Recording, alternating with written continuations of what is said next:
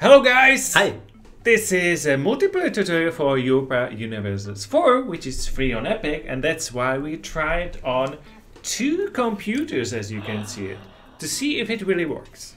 Okay, so you already set up a game. I'm Yeah, gonna go down well, to multi- almost. I am uh, hosting a game Okay. called Should You Play It? Password.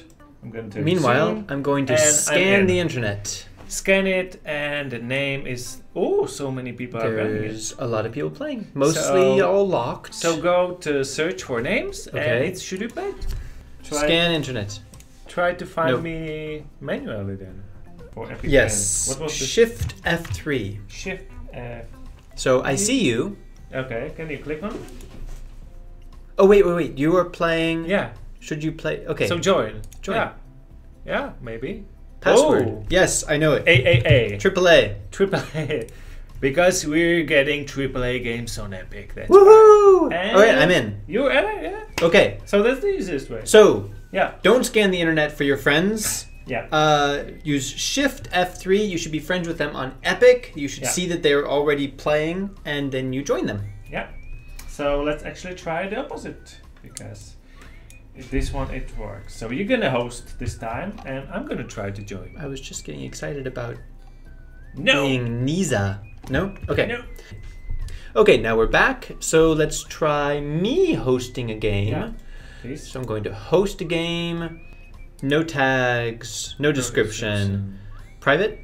I did private before, so I'm gonna let's do try no- not private. Okay, host. Okay. All right. I'm gonna search for it. I'm gonna start building my kingdom, now. sucker. Ooh, Lithuania was huge. I Scan hadn't. the internet, I and hadn't I can known. find you. I had no idea. did You scanned you. the internet? Yeah. Okay. With that, and I found you. Well, the only one Well, because good. I know this. Well, Oh, yeah, yeah. yeah, so I forgot I was in a Czech keyboard. Yeah. So, step Yeah. two of the tutorial: if you're on a Czech keyboard, No, no, no. make no. sure you remember that the So- Y and Z are flipped. Anyway, this way it works, Yeah. but we didn't cross the private. Should you pla it? In imposter. That's me. Uh, okay, let's try again because uh, this time you connect to me, but this time we want it to work. Okay, so we're gonna try it one once again. I'm gonna create uh, without password, just hosting a game, and it's called Michal. Please type Michal. And, what you're doing is not the search, but actually scan internet. That's what you Scan want to. internet. Okay. And you Miguel, found me. I found Yeah. you. Join game. Yeah, Password. I didn't put any. Join. yeah. It works! It works. So actually, And we're in. This works. Now we can play from 1444 till 1821 for many months. Years, centuries, even. And you might be playing for centuries actually and in you this want, game. want to play with your friends, or there's a lot of people playing it. I saw only few went private, but you can you can actually play with strangers as well. And if you don't have a friend to play with, you can put your ID into the description here, and people will join you.